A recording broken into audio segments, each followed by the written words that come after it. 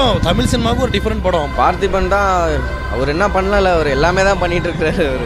அவர் பண்ணி செஞ்சு வச்சிட்டாரு தரமா. ஒரு தடவை போய் எனக்காண்டி இந்த படத்தை பாருங்க ப்ளீஸ் பட் நான் ஒரு ரெக்வஸ்ட் வைக்கிறேன். ஒரு தடவை போய் படத்தை பாருங்க. உங்களுக்கு அது என்னன்னு புரியும். உங்களுக்காண்டி தாங்க உங்களை மதிச்சு உங்கள் சீட் நீங்கள் அப்படியே ராஜா சீட்டில் அப்படி உட்காந்து அப்படி படம் பார்க்குற மாதிரி கமலஹாசன் சாரும் பார்த்திபன் சார் தான் அடுத்த ஸ்டேஜ் கொண்டு போவாங்க தமிழ் சினிமா. ஸோ சூப்பராக இருக்கு.